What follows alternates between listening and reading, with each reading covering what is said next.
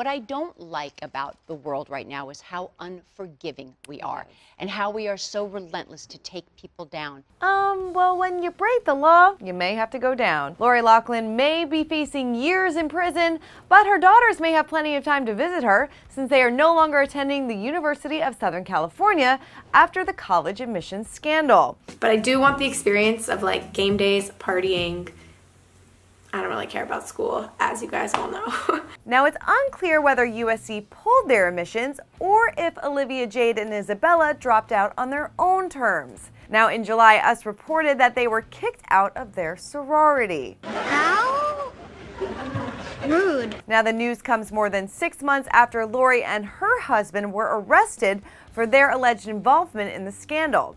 They are accused of paying $500,000 for their daughters to be named recruits to the crew team, despite the fact that neither of them is a rower. Do what makes you happy. You really only, YOLO, you only live once. Now, in September, an insider told us that Olivia has been resentful over the scandal because it's been bad for business, which has been devastating for Lori. I don't want to do anything that one day might rear its ugly head and my children have to pay the price for that. The two pled not guilty to fraud and money laundering charges in April and they are facing, get this, up to 40 years behind bars. I wonder what Aunt Becky thinks of all this.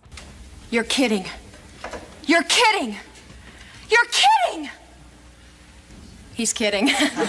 but Lori may want to get ready to trade in her designer duds for an orange jumpsuit, since prison time does look likely since Felicity Huffman was sentenced to 14 days for her involvement in the scandal and she pled guilty. But before Lori does go behind bars, she may have to deal with her husband, Massimo, since sources tell us her marriage may be in trouble since Lori actually wanted to take a plea deal but her husband didn't. An insider tells Us Weekly that Lori was inclined to take the deal, but Massimo said it would ruin both of their careers, and he expects to be fully exonerated and will refuse any other plea deal offers. Probably not a good move. But whatever the future holds, one thing is for sure that Lori is no longer in denial. I'm just as scared as you.